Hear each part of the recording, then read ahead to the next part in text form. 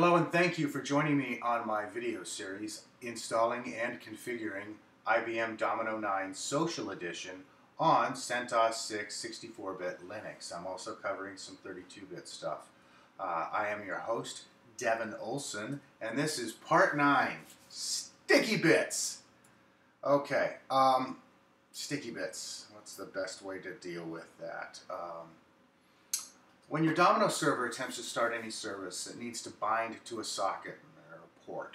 It does this by invoking the BindSock program, B-I-N-D-S-O-C-K. Uh, there's a problem with the installation and setup of an IBM Domino 9 server in the current version in that it doesn't set the sticky bit on the BindSock program file. What this means is, well, let me see here. In a Linux environment, a sticky bit is something that causes an executable file to be run using the credentials of the file owner instead of the invoking user. If you recall previously I talked about how everything is a file and I talked about how um, everybody has to have certain rights and you have different user accounts that have different rights to different things and that's what the, the sticky bit helps us deal with. it allows us to run a program um, as say for instance the user um, notes and I can run the program using the credentials of the root user um, or any other user if I've set the sticky bit accordingly. accordingly. The proper term for this is uh, set user identification attribute. Everybody calls it sticky bit. That's just the term. Okay, and what this means is is is for BindSock, in order to connect and bind to a socket, uh, one of the rules for the BindSock program is it must be run using root user's credentials. But um, we don't run our Domino executable under the root user. We run our Domino executable under the user account that we created for it, in this case notes. So we need to have the sticky bit set for BindSock. Um, if we were to try and start Domino right now, we'll get all kinds of problems. Uh, we'll, we'll discover problems with HTTP, we'll discover problems with um, SMTP and stuff like that. And sometimes those problems um, are misdiagnosed. People will go wildly chasing, looking for other services or other issues or, or kind of kind of things. That's one of the reasons we actually killed the postfix uh, service, not because it's it's a wild or misdiagnosis, but because it interferes with the port 25. Um, but in this case, if we were to try and start it, we'll, we will see issues with our HTTP service. Um, so what we need to do is we need to correct this problem. Now, hopefully they will uh, address this in, in, future releases of Domino, but if, if, not, it's not a big deal. It's really, really easy to fix. So here we are. We're going to go ahead and, and fix it. Um, need to change to super user. Um, by the way, looking at my screen here, this is right. This is the console immediately after having run the um, Domino remote server setup program on the Windows client. And when I clicked yes to shut down the, the listener, this is exactly what the server console did. It shut down the listener and it came here. So let me type in my password. I think I screwed that up. Yep. Try this again. Okay, so now I'm in as a super user and I need to uh, change to the correct root directory. Um, uh, IBM Domino. This is the programming directory. Okay, and now what I can do is I'm going to use the Lotus, or excuse me, the, the Linux find command to search for my BindSock file. So find, and I want to find by name and the name I want to look for is BindSock. And that's where it is. You'll see it gave me the directory.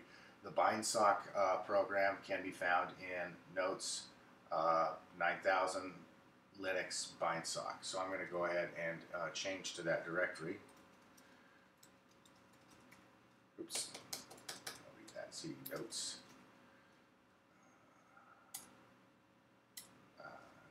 9000 Linux using the tab to get there. So now I'm there, and now I've changed to that directory. Now I'm going to list out the bindsock program, I'm going to use the minus L parameter.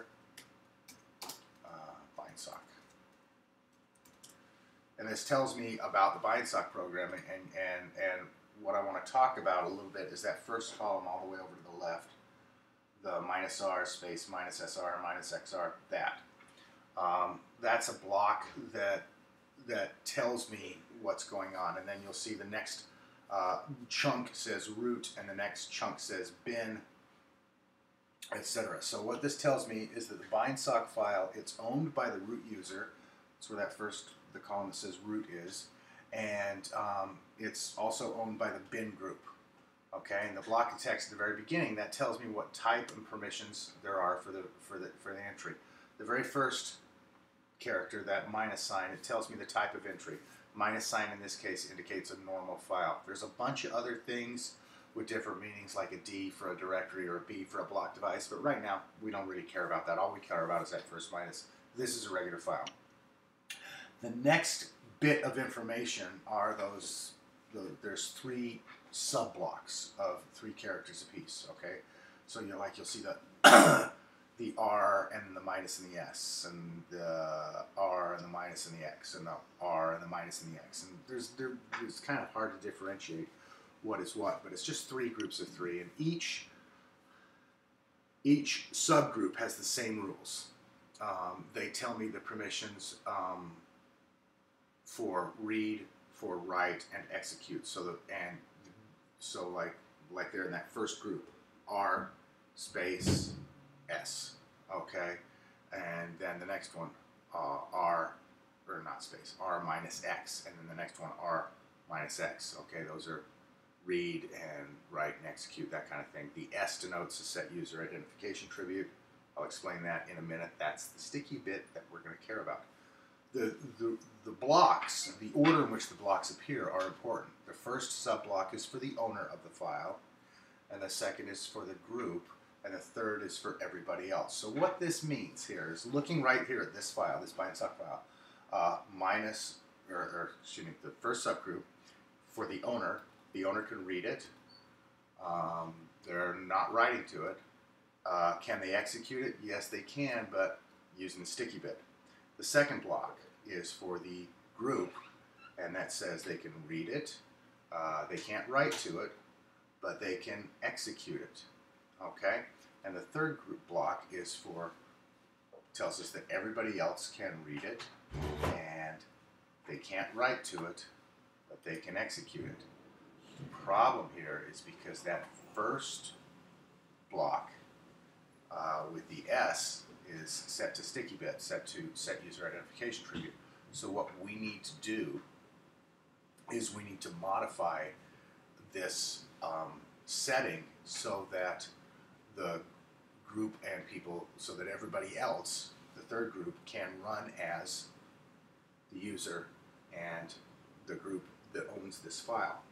And this is where the problem comes in because the group setting doesn't have a sticky bit set. You'll notice again the owner read for R minus no, they're not allowed to, to, to write S sticky bit. Okay.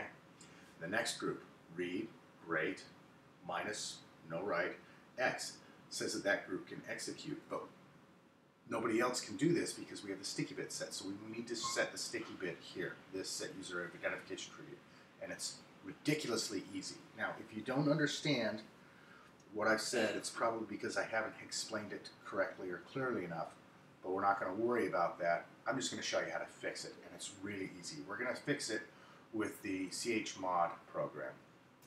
Um, excuse me, with the chmod utility. So chmod, okay, plus s. Please add a sticky bit or a set user identification attribute to bindsock. yay. Now I list it again, ls uh, minus l bindsock, and you'll notice it's now changed. The second block is now r minus s. And that is what I needed to do in order to make BindSock work. It's pretty much that simple. So I'm going to go ahead and exit. Actually not. I'm going to reboot my server.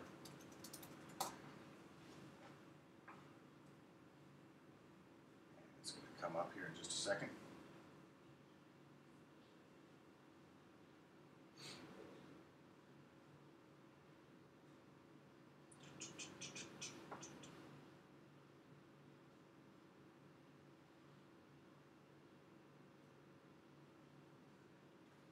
We are, and I'm going to go ahead and log in. And I'm logging in as my notes user.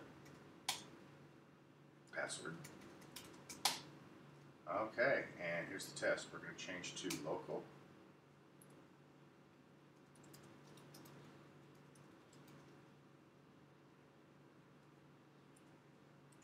Domino data, and we're going to run opt IBM Domino bin server. Dun dun dun dun. Here's the big test. Does it work? After all the craziness and entering and edits and custom stuff and installation things that we've done, is it going to work? Well, let's see. Looks to me like the server's up and running. Looks to me like everything is starting. But does it work? Well, let's find out. Looks to me like HTTP started. Looks to me like there's no errors going on. Can we touch it? 10.211.55. Dot, and this one is 14, if you recall. Look at that. Server's up and running. All right. Yay! Time to celebrate. Uh, you have successfully installed um, your IBM Lotus Domino. Um, so happy. It's kind of a letdown, meaning the series is over. It's that simple. Uh, I might get around to doing a bonus video meaning I might get around to actually adding Traveler to this Domino server um, and doing a video on that. I'm not I'm not going to promise it. Just kind of a teaser, jingly jingly out there. Um, thank you again very much for joining me. I've, I, I really appreciate that you that you that you're watching this and, and learning from me. Uh, you can go to my website learningxpages.com to read about my journey learning Xpages development. Um, traveling, changing to that from a traditional notes developer. You can read my blatherings at devinolson.net, or you can go to www.notesin9.com to check out my buddy David Leedy's website, where he's got all kinds of cool videos on notes development. Once again, I am your host, Devin Olson, and I thank you very much for joining me.